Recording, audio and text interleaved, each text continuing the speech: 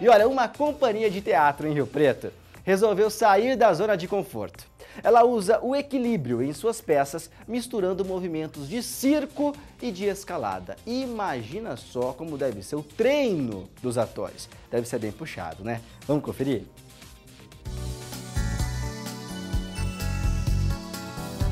A Companhia dos Pés começou em 2007 e desde então faz trabalhos para mudar a perspectiva de quem assiste. A gente queria pensar como é que a gente poderia mudar esse plano que, que, o público está sentado, olhando para frente, de que forma que essa visão poderia ser modificada. E a gente juntou, então, um espetáculo que foi o espetáculo inicial da companhia, colocava o intérprete pisando em paredes e o público deitado. Então, já mudamos um pouco assim, essa tentativa de mudar um pouco do ponto de vista colocou essa questão física, tanto do público quanto do palco. Por exemplo, explorou um outro trabalho, o cenário, que era um cenário que dividia o, o espaço todo do palco em, em dois, então a gente tinha momentos que a gente estava em movimento, a gente abordava o tempo, então tinha momentos que a gente estava de ponta cabeça, 90 eh, graus, 45 graus, e isso tudo dentro do palco.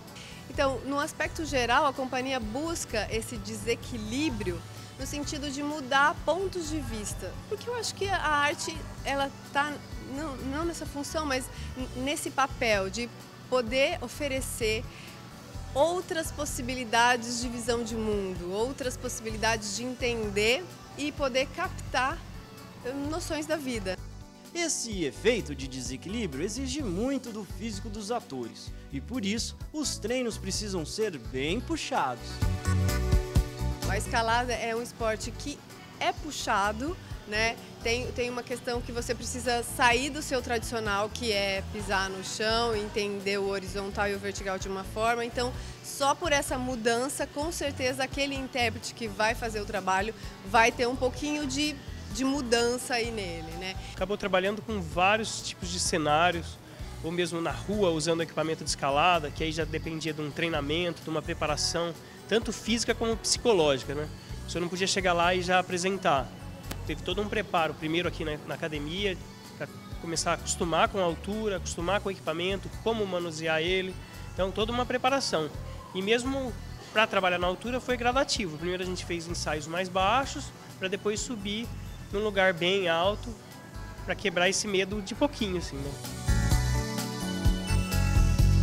Essa aí que está dançando no ar é a Mariane.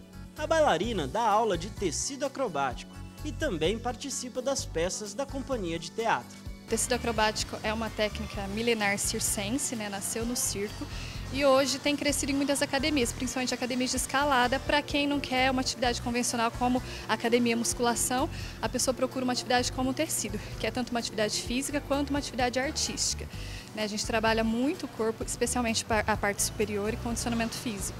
É uma arte, né? É, a gente não, não, enquadra nem exercício físico, seria uma arte, né? Algo expressivo. Então, as pessoas que estão assistindo, às vezes elas se assustam, né? tem algumas quedas, mas tudo a gente está com trava, tem travas de segurança. As pessoas se assustam e acham muito bonito, né? A arte, que exige muito do físico e do equilíbrio, também muda a forma de enxergar o mundo. Como professora, eu vejo que eu tenho um outro olhar né? Eu sei que no começo pode parecer impossível, né? Quando as meninas estão começando, parece difícil, parece impossível. Um pouco mais alto já dá aquele desespero, mas são coisas como eu falei, a gente vai se educando, educando o corpo e a mente para chegar. Então acho que como professor me agregou, como bailarino, intérprete, na minha vida pessoal, nos meus desafios pessoais, me agregou muito.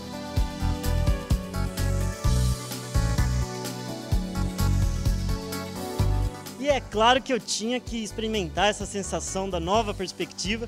E olha, eu vou falar para vocês, é uma coisa totalmente diferente de tudo que eu já vi na vida.